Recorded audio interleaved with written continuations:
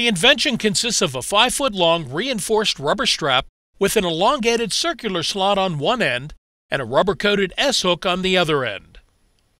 To use the invention, the end of the strap is inserted through the slot on the opposite end in order to create a knot around the hitch pin release handle. The invention remains around the handle at all times and is hooked to a suitable fastening point on the tractor frame when not in use. When it is necessary to decouple the trailer from the tractor, the driver simply unhooks the outer end of the strap and pulls outward to release the hitch pin. Once uncoupled, the strap is reattached and hung from the tractor frame.